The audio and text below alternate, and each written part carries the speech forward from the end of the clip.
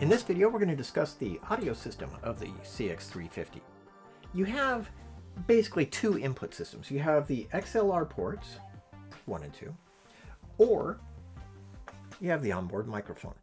You can choose which of these four inputs, left, right, one, or two, get mixed into the camera's two audio channels. It doesn't really have left and right. We refer to them as channel one and channel two you can mix and match. You can make one input come from the onboard microphone and one from a shotgun.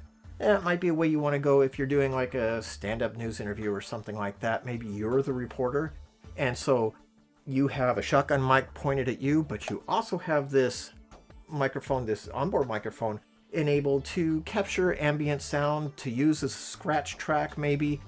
You never know what might happen at a, at a live event, you might want to have that available. Another way to configure the camera, maybe you want to have a shotgun microphone here and a wireless receiver on channel 2.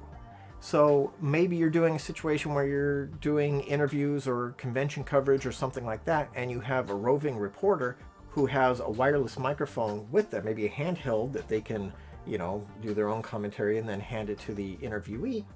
But you also want to have the shotgun microphone on here so that you always have a separate directable audio source. Because what if what if the handheld microphone battery dies? You know, what if the person forgets to hand it over? Like, what do you think, Bill? And they're still holding it here. You know, eh, lots of things could happen. So you might want to have a backup system here. So you might put a, a shotgun microphone here, route it into this XLR, and then have your wireless system maybe attached here or maybe attached to the shoe and going into channel 2. One way that we do all the time is when we're doing a sit-down interview and we only have the one microphone, we'll run that microphone onto both audio channels. So we can put it into input 1 or into input 2, but then when we assign the channels, we can tell channel 1 to go to input 1 and channel 2 to also go to input 1. Why would you do that? Well, first of all, it gives you, you know, even audio going into your ears, but second of all, you can set one channel lower. What if the person suddenly gets very loud? Or what if they get very quiet? You might have one channel louder than the other one, and maybe if they get very loud, your loud channel clips, but your quieter channel will protect. Or you can establish the limiter to help you protect those channels. Or you can establish one channel as manually controlled with the dial here and dial in exactly the level you want you can set the other channel to automatic control. Another way of protecting yourself in case something suddenly gets out of range, something gets way too loud or, or way too quiet for you, that automatic level control might pick in and carry you through. So we'll talk first about the channels themselves. We go into the audio door here and you have two switches. These let you determine what type of input you're sending to each of these inputs. So if you have a microphone coming in on input one, hooked up to XLR 1, then we can go in here and we can set input 1 to microphone level. Or we can set it to plus 48V. Plus 48V is for phantom power. Sometimes microphones need cameras to supply power to them. Sometimes the microphones are powered by themselves. If you have a dynamic microphone, that really shouldn't even have power going to it, so you would set it on mic. If you have a condenser microphone, that needs phantom power. So we would then set down to 48V, plus 48V. That means microphone with 48 volts of phantom power supply. Or if you have a self-powered microphone, maybe a microphone that has its own battery in it, like an electret condenser, you don't want to send phantom power to that because it's supplying its own power. So then we would just set it on mic level. You can do that for input one or input two. This is not the audio channels, these are the inputs. Then you determine what input goes to what channel. So on channel one, we can have the input be the left onboard microphone, or it can be input 1, the XLR, or it can be XLR 2. And you can set the same for channel 2. So theoretically, you could have input 1 go to channel 2 and input 2 go to channel 1. You can mix and match however you want. Just understand that you have two recording tracks and four potential inputs. How do you map the inputs onto those tracks? That's the question. Now, once you have it mapped, once you have the inputs configured and you have the channels configured, how do you control the audio levels? One of two ways. either automatically controlled or manually with the potentiometers here, where you can dial in the exact level that you want. The automatic control is set through the menus. So we go to the audio menu into Rec CH level, and then you can choose for channel 1 or channel 2 whether you want it to be automatic or manual. The fact that it's done individually on the channel, the recording channel, and not on the input is kind of cool because that means that, again, if you have just the one microphone, maybe just one wireless microphone coming in into input 2, then you can set channel 1 to automatic level channel 2 to manual level, the same input will be treated differently on each channel. Another thing that you can do is you can put on a low cut filter.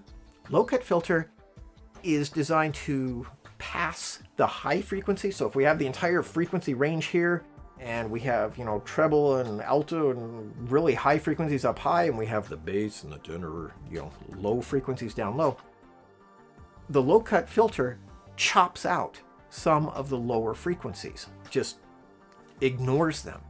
This can be very helpful if you're in a scenario where there's a truck outside of your where you're doing an interview. There's a big giant truck that's just rumbling low and, and idling and just that can be really annoying on your soundtrack.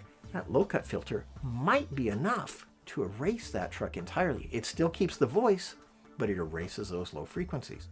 Or another example is if you're in a very windy environment and you're using the onboard microphone or you're using a microphone that doesn't have a proper windsock on it, wind, when it hits that microphone, makes that horrible, rustly, rumbly sound.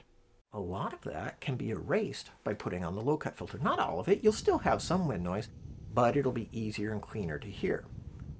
Times when you don't want to use the low cut filter is whenever you don't have to. If you don't have to use it, don't put it on because it does chop out some frequencies. And so, for example, if you're recording music, you'll miss a lot of the music. If you're recording voices, you miss some of the tonal range of the voice. It makes voices sound thinner. Sometimes it sounds better than having whatever that low rumble is, but if you don't need to compensate for something like that, don't put that on. Now, the thing you can do is you can put a limiter on. Now, a limiter is designed to when it hears an audio level getting too loud, it clamps down on that audio level to keep it within range to prevent it from distorting. That's a really nice backup to have. The limiter can be set individually. One channel can have it, the other channel not. It's a nice thing. If you're using like a professional mixer, you have a sound person on the shoot and they have their own mixer and they're routing the microphones to their mixer, and then sending their output to the camera, then don't put the limiter on here. They'll take care of limiting, and, and you'll want the, the pure unmodified signal coming into the camera. But if the microphones are going directly into the camera, limiter can save you sometimes when things get too loud. You know, if you don't have time, sometimes when stuff happens really quickly, you you you gotta think and grab the audio dial and try to turn down, but it's already happened. That limiter can maybe bail you out for a second before that happens. One last thing on the audio system.